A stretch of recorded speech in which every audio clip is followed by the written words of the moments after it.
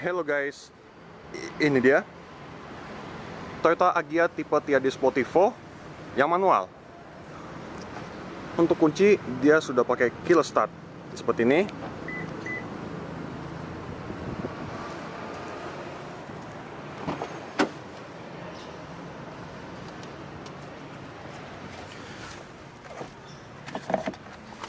Untuk nyalakan mesin, pencet tombol yang yang ini dulu.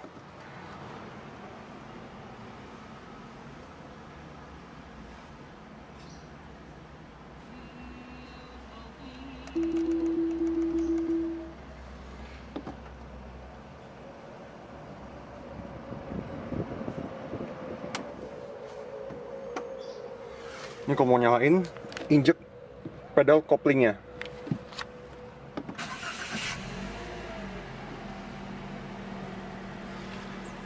Yuk kita lihat bagian ekstra dulu.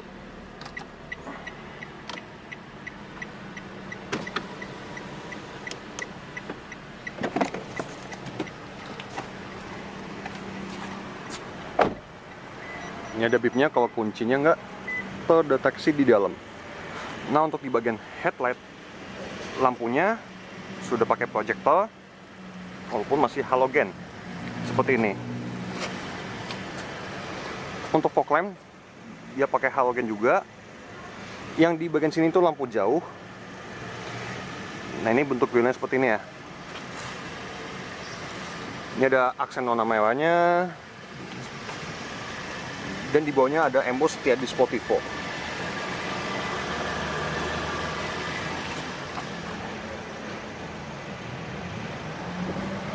Untuk velg, tutup polis 4 baut untuk bannya pakai GT radial dengan ukuran 17565 ring 14. Untuk rem depan pakai cakram.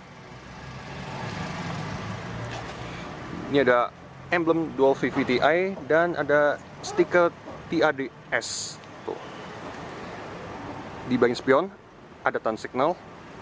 Door handle Sona body. Antena masih yang model tarik Untuk rem belakang, tomol. Di bagian spoiler belakang, di sampingnya ada emboss TRD. Ada hammer lamp. Ini juga ada embossnya seperti ini ya. TRDS. Gak ada di fog belakang. Ini ada wiper belakang.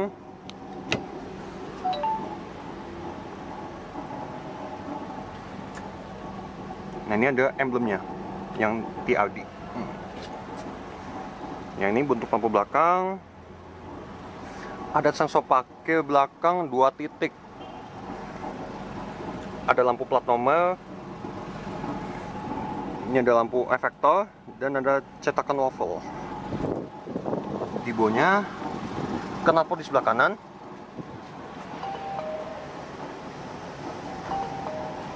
Nah ini bentuk belakang secara overall. Ini ada edisi 50 tahun.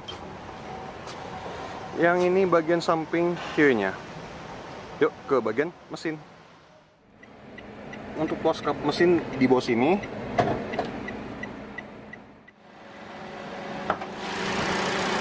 Untuk mesin dia berkapasitas 1,2 liter, 4 silinder, 16 katup. Tenaga 88 PS dengan torsi 100 Nm. Ini ada padam di balik kap mesin. Ini udah ada ABS. Untuk di bagian pangkalnya belum ada padamnya, sayangnya. Udah pakai dual VVTi. Kode mesinnya 3 NRFE. Untuk drivetrain dia pakai penggerak roda depan. Yuk ke bagian interior. Untuk bagian dotim ini banyak plastik. Ini ada aksen silver, ada penyimpanan. Ini, ini ada bahan fabriknya seperti ini, warna merah. Tuh. Kayak gini ya. Ada pengunci jendela. Untuk power window one touch hanya di bagian pengemudi. Untuk one touch hanya buka doang. Kalau tutup dia agak one touch. Ini ada dua handle dengan bahan chrome, ada speaker, cup holder sama penyimpanan. Untuk jok dia pakai bahan fabrik. Ini ada motifnya seperti ini ya. Ini ada garis putus-putus warna merah. Untuk joknya dia model pocong. Ini ada pengaturan reclining dan sliding. Ini ada tos untuk membuka bagasi sama tangki bensin. Ini ada informasi tekanan ban.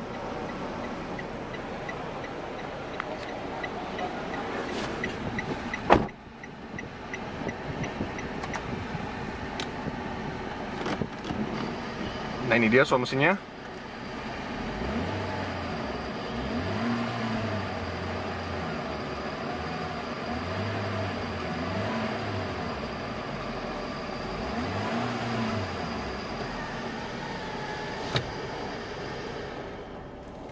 nggak ada hand grip untuk di bagian driver. Set vesel kanan ini sama sekali polos. Ada lampu kabin depan. Spion tengah dia standar. Untuk set vesel kiri ini juga polos. Ini ada hand grip untuk yang di bagian sisi driver. Untuk pengetahuan seat belt masih yang fix. Airbag ada dua kiri kanan. Tuh seperti ini ya. Ini ada tonjolannya seperti ini. Tonjolan airbagnya. Untuk bahan seperti biasa plastik. Ada laci penyimpanan kayak gini.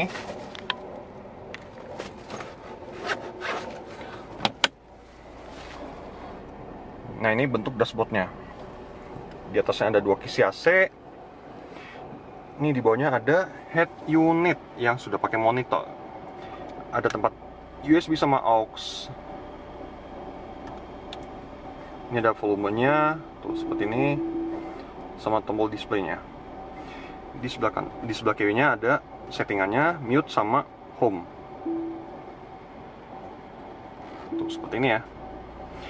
Ini ada M Toyota juga. Settingan juga ada.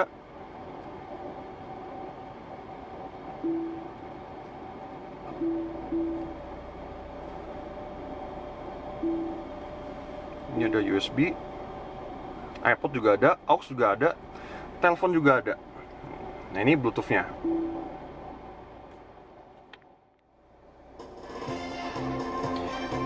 nah, ini ada slot CD nya seperti ini ya di bawahnya ada tombol hazard ada pengaturan AC ada pengaturan fan speed tombol off AC nya tombol sirkulasi udara, max cool, mode AC, sama pengaturan suhu. Di bawahnya ada power outlet sama tempat penyimpanan. Ada dua cup holder. Untuk transmisi 5 speed manual.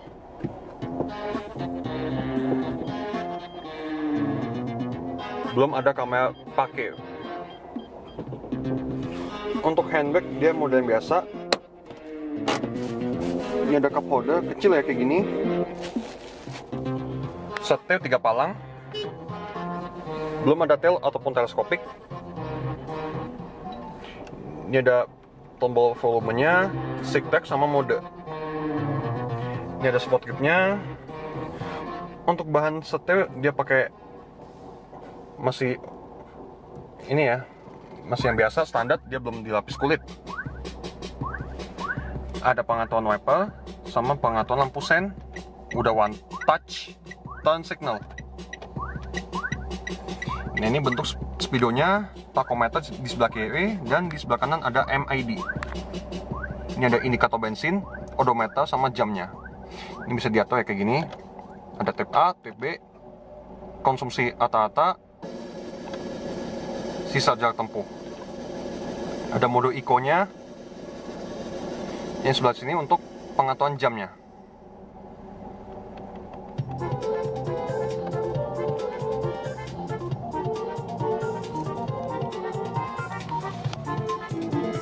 sebelah kanan ada pengaturan kaca spion yang dilengkapi dengan retak.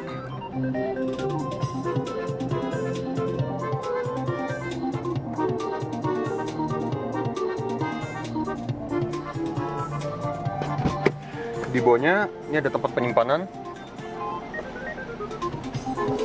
Yuk ke bagian belakang. Untuk kapet ada emboss agianya.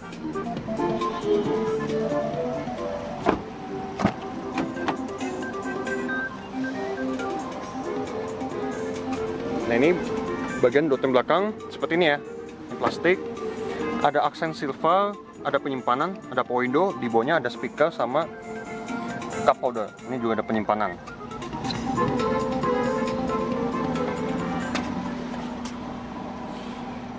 Di belakang ini ada emboss 50 tahun Toyota. Ini ada isofix untuk jok belakang dia masih menyatu dia belum ada pembagian lipatan.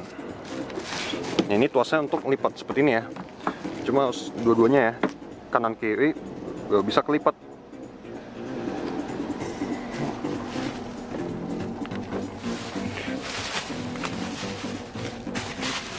Nah, ini untuk di belakang ini sudah ada headrest untuk ketiga-tiganya.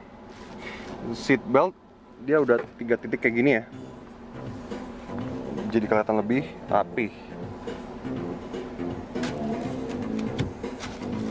Seperti ini bisa diatur ketinggiannya untuk headrestnya ada hand grip ada penyimpanan pocket di kedua sisi. Ini bagus ya. Nah ini bentuk dashboard dari pandangan belakang. Untuk ruang kaki tergantung posisi jok depan. Ruang kepala ini masih oke okay.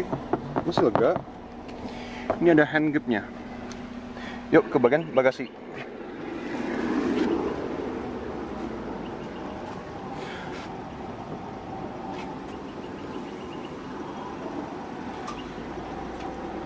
ini ada traynya ini bisa dilepas. Di bawahnya ada ban cadangan. Dia full size dengan velg kaleng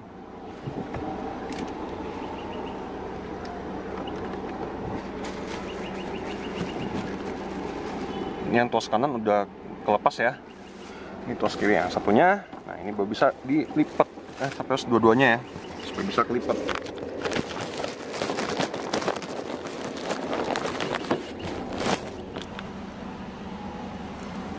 Tuh, seperti ini ya. Ini kalau dilipat dia nggak rata lantai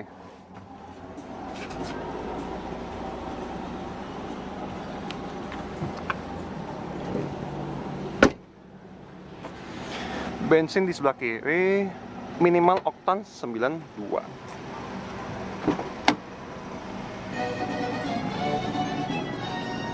untuk jok penumpuan depan dia ada reclining dan sliding.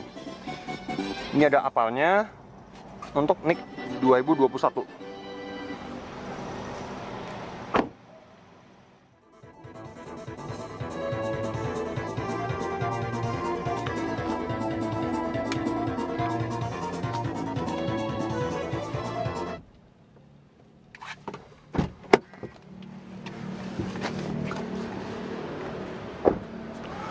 Oke, sekian dulu reviewnya tentang Agia tipe TAD Sportivo manual.